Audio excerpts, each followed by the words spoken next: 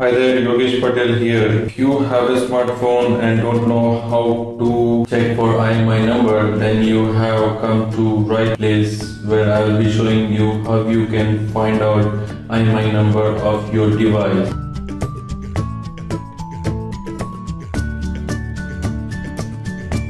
Now there are three ways that you can find IMEI number of a device. I'll be going through all of them. Here I go with the first one. If you have the box of the device, anywhere on the box side there will be IMEI number. So this on Samsung Galaxy On 5 is printed here with the bars and the IMEI number mentioned clearly. So this is a dual SIM smartphone so I have the two IMEI numbers on the device. So that's the first way. The second way, if you don't have the box directly on the device, you can check it by dialing star hash 06 hash.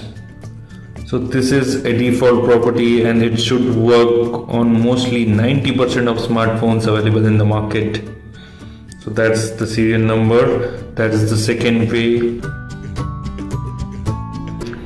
The third way is to by turn off the device and just below the battery on the handset.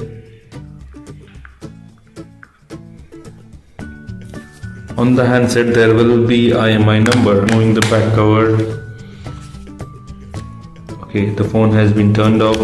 And here most of the manufacturers write the IMEI number. So there I have the IMEI number just above the barcodes followed with the serial number so that's all the three ways.